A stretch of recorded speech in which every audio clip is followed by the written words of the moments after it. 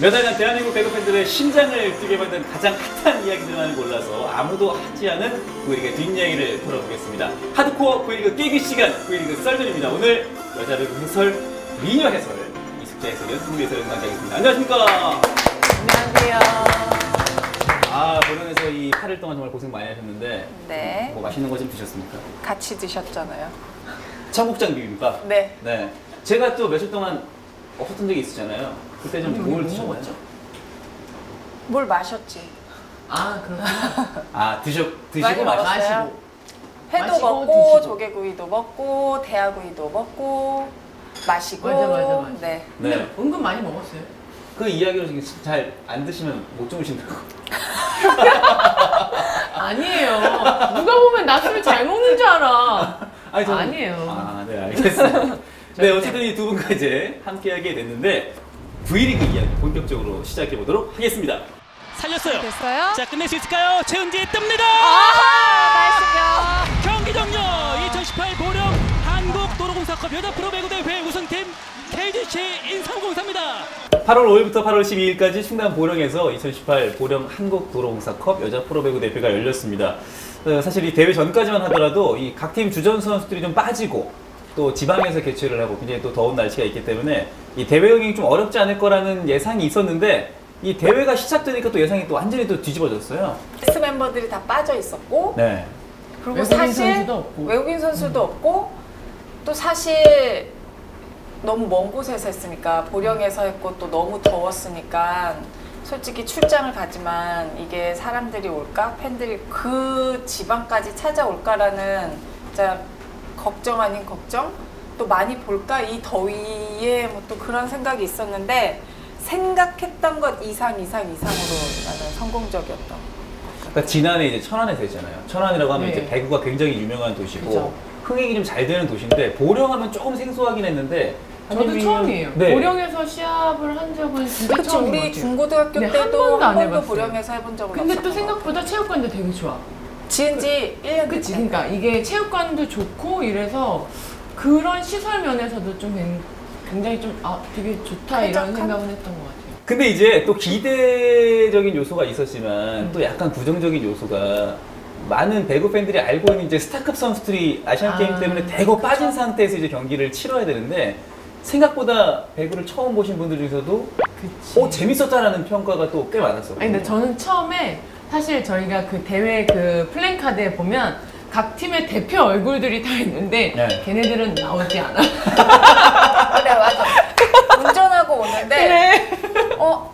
얘 없고, 얘 양효진. 뭐 이런 애들 수지도 있는데. 아무도 없어. 네. 그러니까 그 사람들은 아마 걔네들이 혹시나 나올까 하는 기대감에 왔는데 애들이 없어.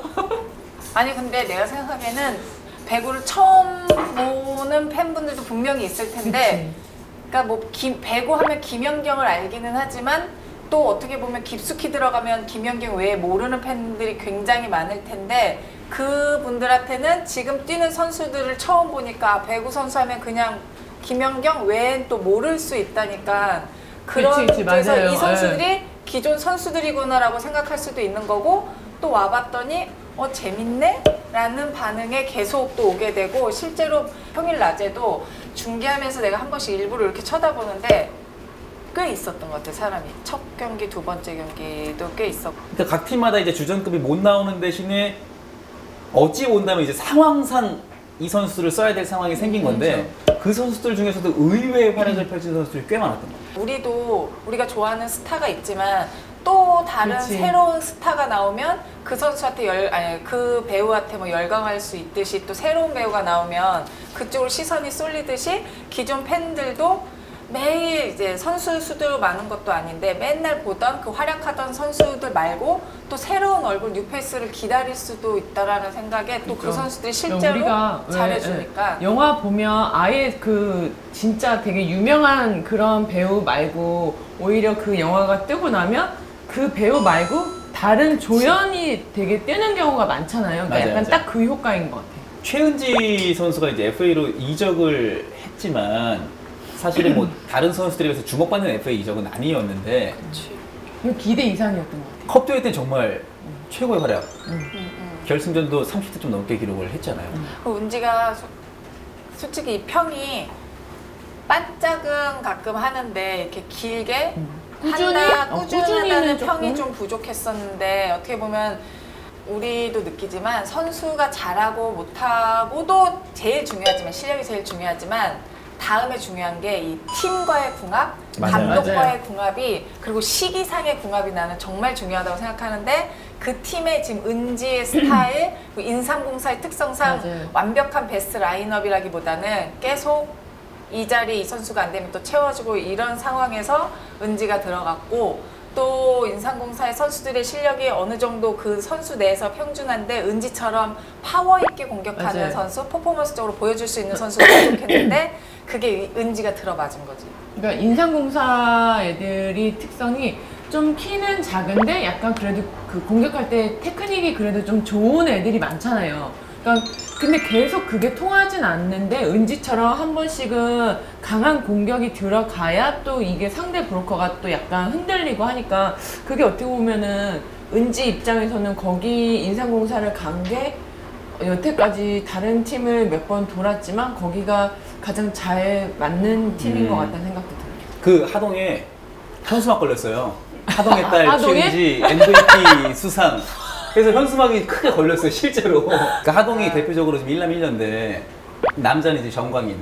아 진짜요? 네, 정광인 아, 이제 아, 하동의 근데 아들. 은지가 어. 그 얘기했잖아. 예전엔 정광인이었는데 요새 약간 아, 분위기가 최은지로 바뀌었다고. 하동의 분위기가 이제 최은지로 네, 그래서 바뀌었다고. 하동의 아들 정광인이었다가 이제 어. 그 현수막 그 위에 하동의 아. 딸 최은지 MVP 수상. 너는 오산의 딸 그런 거 안 붙었어? 나 엄청 올림픽 붙었죠. 때? 나도 나도 이천에 붙었었어 올림픽 때. 나는 나는 우리 아파트 단지에도 맨날 나랑 송이 같이 근데 그거 누가, 누가 만드시는 거예요? 아파트 주민 그 응. 회장님들, 그러니까 아. 그치 그런 분들 그리고 오산 약간 올림픽이나 아시안 게임은 시장님이 그치 관여를 저는 하시지. 시장님이 저희 엄마 아빠도 다 알아요. 아, 요건 딴 얘기긴 한데.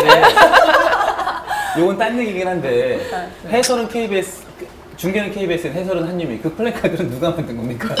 내 팬이 내 팬이 아 이게 뭔가요?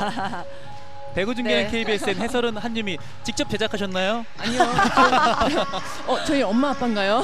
네. 최은지 선수 얘기를 했는데 그래도 최은지 선수 이외에도 사실 활약을 했거나 아 이 선수 좀 기회만 주어진다면 잘할 수 있을 것 같다는 선수를 우리가 한 명씩만 좀 대볼까요?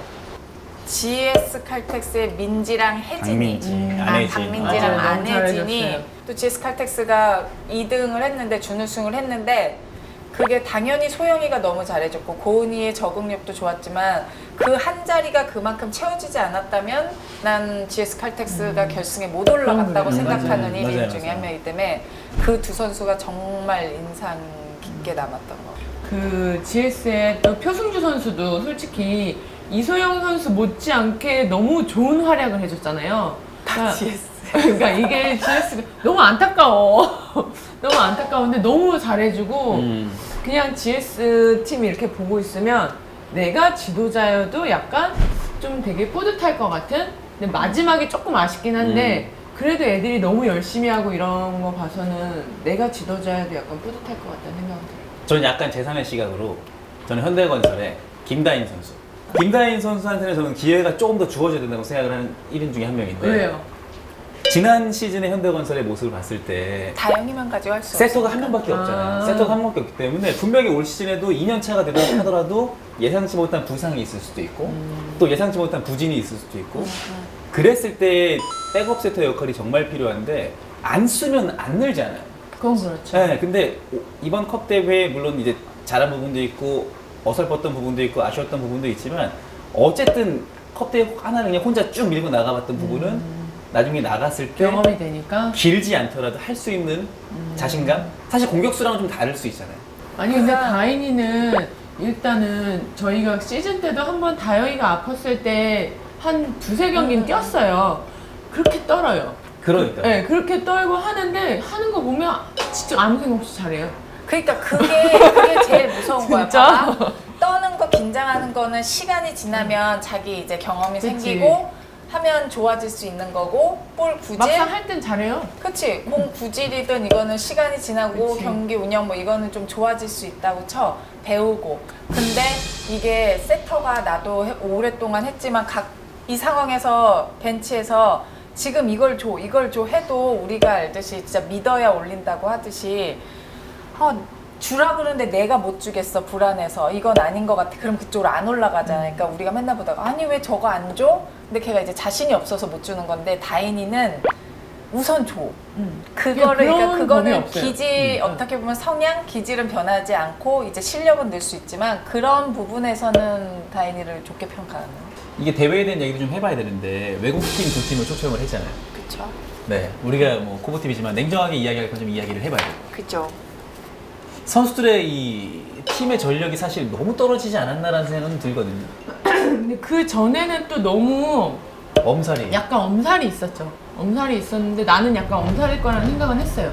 엄살인 것 같다라고는 생각은 했는데 근데 약간 그래도 태국 팀이 저 정도는 아닐 거라고 생각을 했는데 좀 생각보다 좀 너무 떨어졌던 것 같아요. 왜냐면 대표팀 대표팀 2군이라곤 하지만 대표팀? 대표팀이 여기 출전을 한다고 라는 생각은 있었지만 명단을 봤을 때 대표팀에 들어가 있는 선수들은 있지만 그 선수들이 실질적으로 베스트 멤버나 아니면 전위까지 올라가서 활약한 선수는 없었기 때문에 그래도 해볼만 하겠다. 너무 걱정할 만큼 강팀은 아닐 텐데. 그리고 약간 그렇게 걱정하는 게 어떻게 보면 그러니까 우리도 베스트가 빠졌으니까 그럴 수 그렇죠, 예. 있는데 아 너무 좀 그런 거 아닌가? 좀 자신 있게 아 와라 이래야 되는데 그러니까 일단은 좀 한 박자 죽고 들어가는 그런 분위기였는데 아니나 달라 여러분니까 너무 어. 저 정도일까지 몰랐는데 그게 약간 2009년도인가 그때도. 당시엔- 외국팀 이렇게 초청했을 때 그때 생각을 해서 약간 다 음. 팀들이 음. 자꾸 조금 어, 견제를 했던 것 같아요. 저도 결승 때 그래서 제가 준우승했거든요. 그텐 텐진이 텐진. 우승. 네, 텐진이 우승하는 바람에 저희가 그것도 2대 0으로 이기고 있다가 3대 2로 역전당했어요. 그건 자랑이 아니고 어쨌든 어. 그래서 너무 억울한 거야. 아. 내 입장에서는 나도 거기에 약간 공감은 할 수 있었던 것 같아요. 그치 그러니까 남의 팀이 예, 나라의 우리 잔치인데 그러니까 그, 그 중간을 찾기가 사실 쉽진 않은데 과연 전력을 전력이 이제 강력한 팀들을 만나서 정말 제대로 된 훈련이 될 수 있게끔 하는 게 맞냐 아니면 우리 선수들과 전력이 비슷하지만 우리 선수들이 조금 더 앞설 수 있게끔 하는 것이 맞냐 이건 그거를 좀 어려운 문제인 것 같아요. 기준을 잡고 우리보다 조금 못한 애들을 데려오자 그건 또 아닌 것 같고 그렇다고 또 아주 강한 팀을 데리고 와서 맛있지? 시즌 끝나면 한일 탑 매치를 네. 했었잖아. 그쵸, 예. 그러니까 그런 식의 개념으로 그 정도의 실력 이 정도면은 괜찮을 것 같고 솔직히 너무 주- 우리 잔치라서 꼭 우리가 우승해야 돼. 그럼 외국 팀을 초청하지만 반대로 얘기하면 너네 들러리로 와줘 이거밖에 안 되니까. 예. 그 근데 기준이- 그런 외국 팀이랑의 친선 경기는 매년 해요 팀마다 그치. 다 일본 팀이랑 매년 하고 하니까 이게 과연 그렇게 소득이 있나 이런 생각도 들긴 나는 아시아컵 음, 팀을 초청해서 나중에는 그 축구나 다른 종목처럼 그 리그가 형성되지 않을까? 그 시초이지 않을까? 이제 음. 이번부터 이렇게 출발을 해서 아주 기초 단계이지 않을까라는 생각도 한번.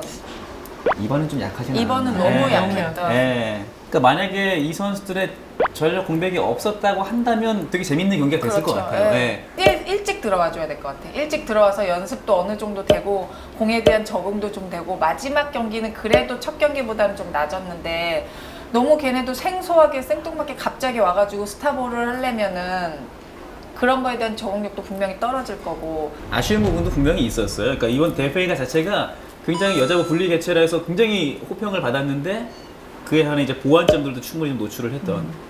그러나 여자부 분리 개최한 첫 대회는 저는 전반적으로 총평을 내리자면 성공적이었다고 얘기를 하고 싶거든요. 성공적이죠. 관중 수도 굉장히 많았어요. 굉장히 많아가지고 거의 결승 때는 약간 이렇게 서서. 서 계시는 분들도 맞아요, 되게 맞아요. 많았어요. 맞아요. 우리도 서서 관중도 서서 그렇지. 이걸 유지하고 하려면 이번 컵 때처럼 경기도 재밌어야 되고 당연히 수- 수준으로 얘기하면은 베스트 멤버가 막 다 들어왔을 때보다는 그 전력이 갖춰지진 않지만 지금 선수들 그 분야 나름대로 굉장히 재밌게 연기를 했잖아요. 그러니까 보는 사람들로 그 너무 재밌으니까 이제 보령에서 처음 접한 사람들도 이제는 여자 배구 볼것 같다라는 음. 느낌. 이제 연경이 등을 타고 연경이가 큰 이렇게 해줬으면 이제 앞으로 이거를 붐시키고 끌고 나가고 유지하는 건 지금 이제 선수들이 해줘야 되는 몫이라고 생각이 들지. 그러니까 이게 여자 배구는 남자 배구랑 좀 다른 그 매력이 있잖아요. 근데 그 매력을 약간 되게 충분히 살렸던 것 같아. 이번 코보컵에서. 이 남자, 그러니까 보는 시청자들이 남자 배구는 안 보는데 또 여자 배구만 보는 사람들이 있어요. 어, 근데 그게 맞아요. 여자 배구의 매력을 알기 때문에 보는 건데 그 매력을 좀 완전 100%다 보여준 것 같은 느낌? 외국인 선수가 없다 보니까 네. 외국인 선수 있으면 사실 세터 입장에서도 확률 높은 쪽으로 올릴 수밖에 없고 감독님들도 이쪽으로 가 쉽게 가 음. 그러니까 나도 세트 플레이 하고 할 줄 알아 근데 팬들이 너는 몰빵이야 몰빵이야 이런 그치. 소리들은 좋아하는 세터 단 한 명도 그럼요. 없죠 나도 할 줄 아는데 팀 특성상 외국인 제도를 사용하고 있는데 돈 준 만큼 또 뽑아내야 되고 성적이 내야 되니까 어쩔 수 없이 단조롭게 가는 세터들이 내가 보기엔 되게 많은 걸로 아는데 거기에 대해 이제 세터들이 해소할 수 있는 경기가 외국인 선수 빠진 컵 대회 경기고 실제로 되게 아기자기한 플레이도 되게 많이 나왔고 랠리가 엄청 막 길고 수비도 너무 좋아가지고 되게 재밌었던 것 같아요. 결승전은 진짜 아, 진짜. 너무 제가 중계한 제가 여태 역대죠. 중계한 경기 중에 최고였고 컵 대회를 보면서 이제 한 줄 평? 네, 한 줄. 딱 한 줄로 이번 컵 대회는 끝날 때까지 이렇다. 끝난 게 아니다. 끝날 때까지 끝난 게 아니다. 간단한 이유는 GS. 뭐냐? 뭐래? 뭐래? GS래요. 뭐가 뭐가? 뭐가? 이유가 지 이유가 GS. 그러니까 그게 배구의 묘미라는 거죠. 음. 끝날 때까지 끝난 게 아니라는 거지. 음. 누가 봐도 다 GS가 이길, 이길 거라 생각했을 거예요. 근데 끝은 알 수 없으니까. 난 그냥 별로 생각 안 나는데 성공? 그냥 성공이고 어떻게 보면 시작?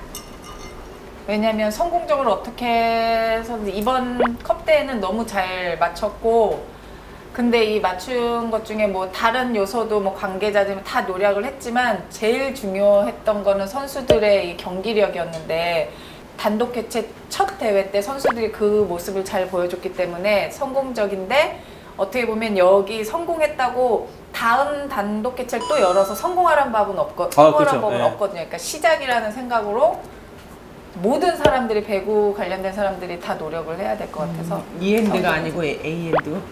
음.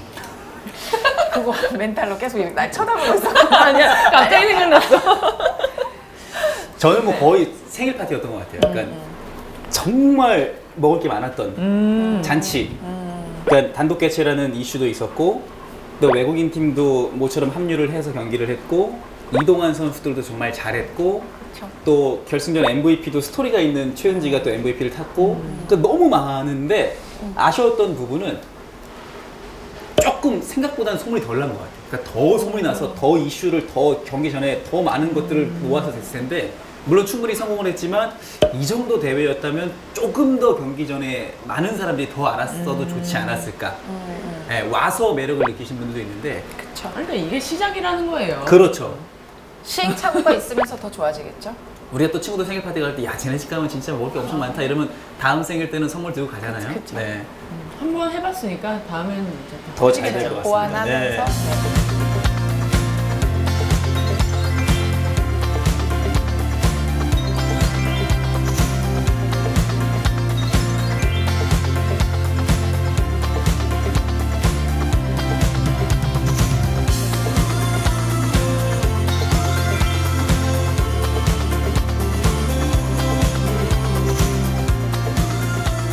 자 다음 주제는 이제 2018, 2019 V리그 전망입니다. 네. 아, 송이는 센터 가면 돼요.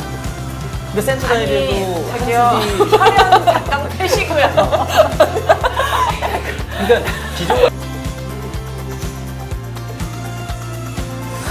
아, 이런 얘기하면 안 되나? 아니 괜찮아요.